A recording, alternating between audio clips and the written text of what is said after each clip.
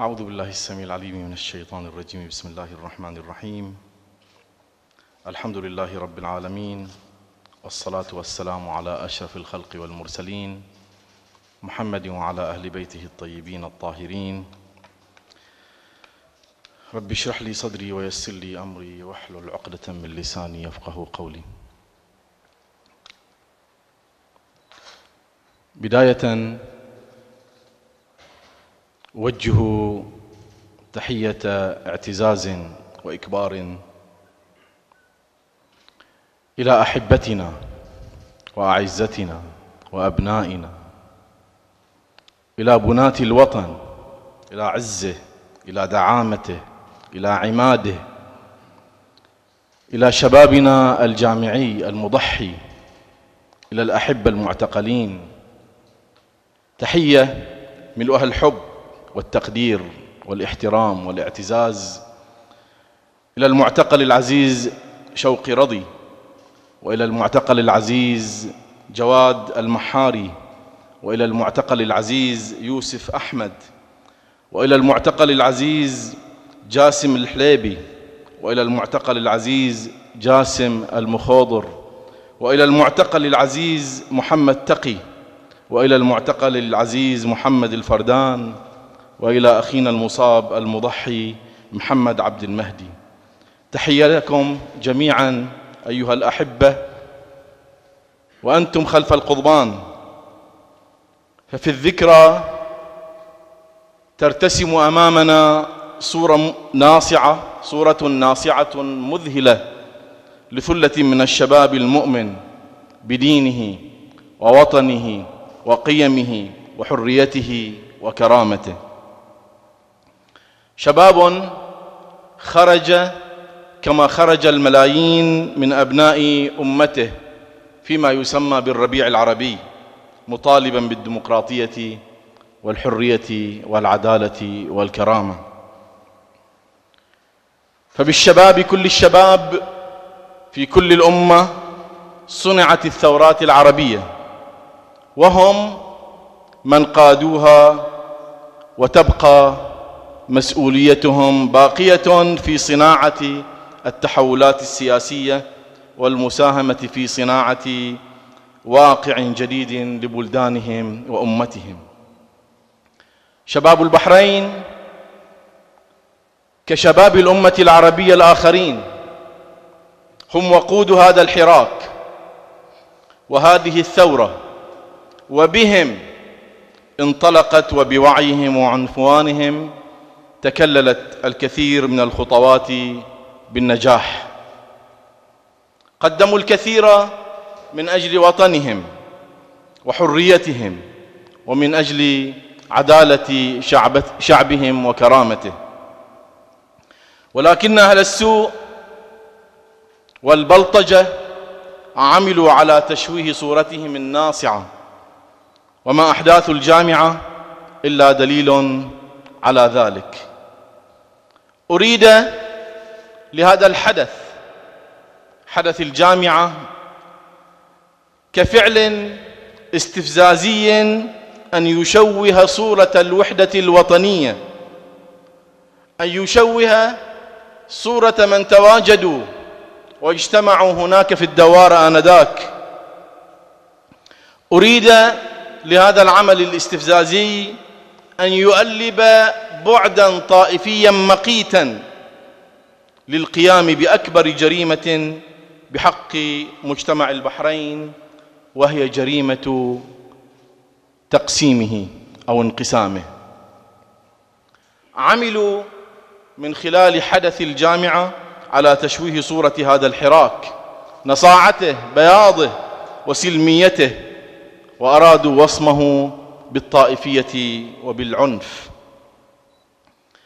لكن شبابنا كل شبابنا المعتقل منهم وغيره فوت عليهم هذه الفرصة. فجراح فجراح أحداث الجامعة باقية. ستشهد على حكمه ووعي هذا الشعب وبلطجة من دبرها وغطاها ودمر مستقبله واعتقل ودمر مستقبل شبابنا واعتقل منهم من اعتقل وأصيب منهم من أصيب فيها. إن حكمة ونضج ووعي الشباب الجامعي والمعارضة والشعب في أحداث الجامعة دفعت عن البحرين الويلات التي أثيرت من أجلها وأريد الوطن أن ينجرف فيها. أرادوا الاعتداء على عرض فتياتنا هناك. فكان شبابنا بوعيهم المصد والحامي لعرض هؤلاء لعرض الوطن كل الوطن من بلطجة من أراد الفتنة. في الذكرى اليوم نؤكد على دور الشباب ومكانتهم على ما قدموه لبلدهم وشعبهم من تضحيات تحملهم المسؤولية في الاستمرار في عملهم النضالي الجهادي وفي المحافظة على سلميتهم. نحن هنا وفي الذكرى نريد لشبابنا أن يتبنوا أن يؤمنوا أولا وأن يتبنوا أفضل النماذج في الحفاظ على الشباب ودوره.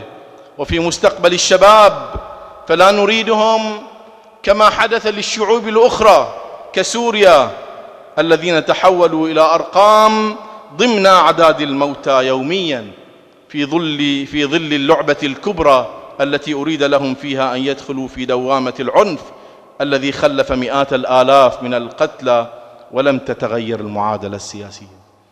نريد لشبابنا أن يكونوا أرقى أوعى أفهم من أن ينجرفوا وراء دعوات هنا أو هناك تضيع البوصلة.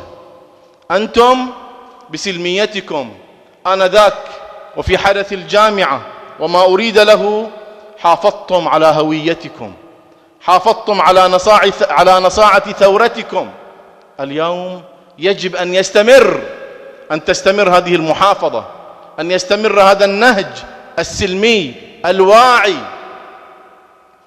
بوعيكم بقدرتكم بفهمكم بعلمكم تستطيعون أن تحافظوا. لا نريد, لا نريد لكم أن تكونوا كباقي الشعوب.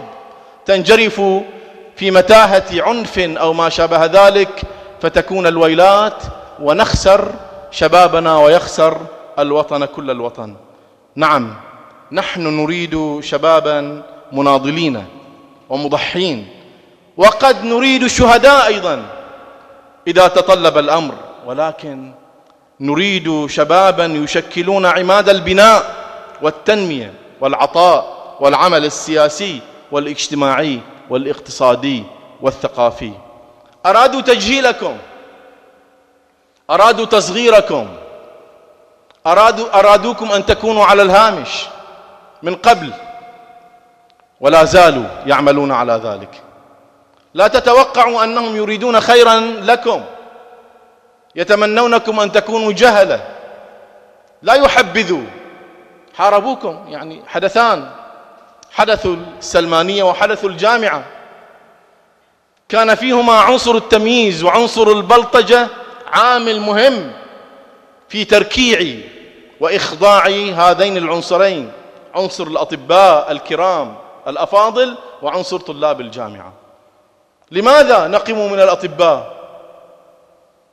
لأنهم عرفوا بأن هؤلاء بمكانتهم العلمية برقيهم أناس لهم الصيت ولهم الاحترام وهم متقدمون على جهلهم جهل الآخرين على بلطجتهم. فلذلك عمدوا عمدوا إلى إهانتهم وإخضاعهم وإذلالهم والتمييز ضدهم وذهبوا إلى الجامعة كذلك بذات الأسلوب وبذات المنهج.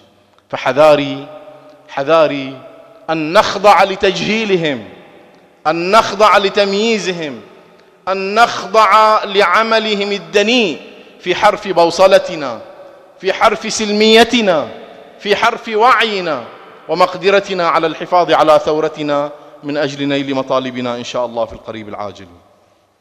نعم. نريد شبابا مناضلا سلميا في ساحات النضال.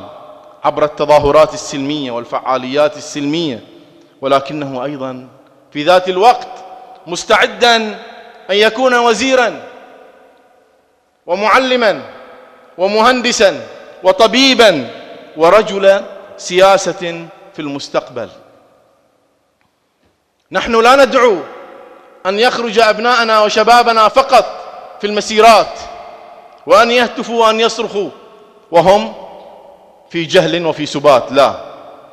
نريد لهم أن يكونوا أهل النضال وأهل الجهاد وأهل العمل من أجل مستقبل البحرين من أجل بناء البحرين. أن يكون الوزير في المستقبل وأن يكون المهندس الباني لهذا الوطن وأن يكون المعلم والمربي لهذا الوطن. هكذا نريد لأبنائنا ولطلابنا أن يكونوا. لا نريد لهم أن يخضعوا لتجهيل الآخرين.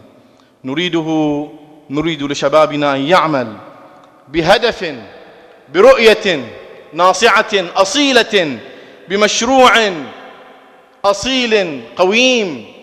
وأستطيع أن أجزم أستطيع أن أجزم أن هذا المشروع وهذه الرؤية وهذه الأصالة تتوفر اليوم في خطاب آية الله الشيخ عيسى أحمد قاسم وفي خطاب العلامة السيد الغريفي وفي خطاب أمينا العام حفظهم الله جميعا. نعم. نريد لشبابنا أن يكونوا أقوياء أقوياء بدينهم أقوياء بالتمسك بقيمهم أقوياء بالمحافظة على مبادئهم أقوياء أقوياء أمام بلطجة النظام أقوياء أمام بلطجة الآخرين الذين يريدون إخضاعهم والتمييز ضدهم. لا تخضعوا لسياسة الترهات التي تقول لا مستقبل لكم. ابحثوا عن عمل آخر لا تواصلوا دراستكم. عملوها في الثمانينات. أخرجوا الكثير من شبابنا من صبيتنا من مدارسهم لأنه لا مستقبل لهذه الطائفة اليوم في هذا الوطن. لن تحصلوا على أعمال فالطالب ببساطة وبعض الأوقات بسذاجة. يترك الدراسة يقول أنا أروح أشتغل حمالي أفضل لي من أن أنا أواصل دراستي. وخسر الكثير الكثير. اليوم سلاحكم العلم. احصل عليه. أرقى الشهادات فلتتوفر عندك. ليس مهم أن تعمل هنا أو هناك. المهم أن تمتلك السلاح. سلاح العلم. سلاح المعرفة. سلاح الوعي. هو هذا السلاح به ستنتصر وبه سينتصر الوطن. أما إذا خضعنا لترهات البلطجة وأساليبهم فنحن الخاسرون حينما نخضع لليأس للقنوط للانهزام والتراجع. فلنجعل كل ذلك الانهزام واليأس والتراجع خلف ظهورنا وتحت أرجلنا. الصراع اليوم ليس صراعا بالأدوات الملموسة إنما هناك صراع لخلق الهزيمة النفسية ونحن أقوى وأصلب من كل ذلك وقادرون أن نكون أقوى من كل ذلك. نعم. صراع اليوم صراع إرادة صراع وعي صراع مبادئ صراع قيم. فإما أن ننهزم وإما أن ننتصر بقيمنا بإرادتنا بعزيمتنا. وأنتم أيها الشباب قادرون إن شاء الله على صناعة هذا النصر في المستقبل. الشباب البحريني وعلى كل ما جرى ويجري من الإجراءات والمضايقات أصر ولا زال يصر على التفوق والريادة. نعم لن يترك هذا الشباب وهذا الشعب الساحات وأولها وأولها وأكرر. وأولها ساحة العلم والتعلم. مهما كان هناك تمييز ومهما كان هناك اضطهاد. ستقودون بلدكم يوما ما. ستكونون الوزراء والرؤساء والمدراء والمعلمون والأطباء. ستكونون القادة في هذا الوطن. لا تخضعوا لترهات الإعلام. لا تخضعوا لأولئك الذين يريدون أن ننهزم نفسيا وأن نكون في الخلف. نحن صناع تاريخ هذا الوطن وسنبقى بهؤلاء بالرجال بالأطباء بالمهندسين. صنع الوطن. من هم؟ أبناؤنا أبناء القرى. أبناء هذا البلد الأصيلين. بهم صنع الوطن. بهم بني الوطن. ليس بجهل الآخرين وترهاتهم. وبكم أنتم, أنتم أيضا سيصنع الوطن إن شاء الله في المستقبل. مشروعنا نحن في الوفاق للشباب ليس كمشروع بعض الأحزاب بفصل الشباب وعزلهم. لذلك أنتم جزء من كل هياكل الوفاق وعليكم أن تساهموا فيها في كل هيئاتها ودوائرها ومراكزها. فبكم بكم لا بغيركم نبني المجتمع ونبني الوطن. دمتم إن شاء الله لهذه الأرض. عزا وفخرا وملاذا والسلام عليكم ورحمة الله وبركاته.